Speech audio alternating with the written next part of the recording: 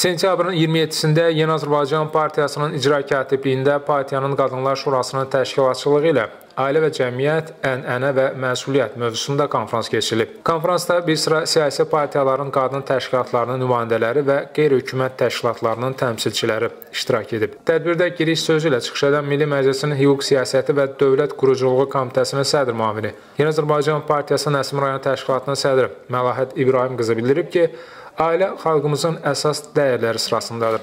Onun sözlərinə görə bu gün ölkəmizdə ailə institutunun qorunması prioritet məsələlərdəndir.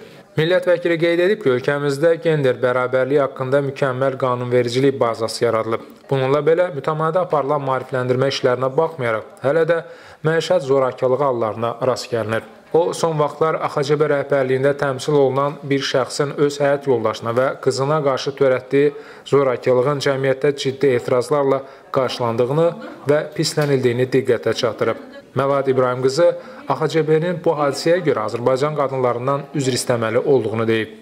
Azərbaycan Qadınlar Birliyinin sədri Tənzilə Rüstəmxanlı bu hadisənin gündəmin əsas mövzularından olduğunu söyləyib. Onun sözlərinə görə buna səbəb hakimiyyətə iddia edən bir siyasi partiyanın rəhbərliyində olmuş şəxsin öz ailə üzvlərinə qarşı zorakı hərəkətləridir. Bu səbəbdən də həmin hadisə cəmiyyətdə ciddi qınaq obyektinə çevrilib.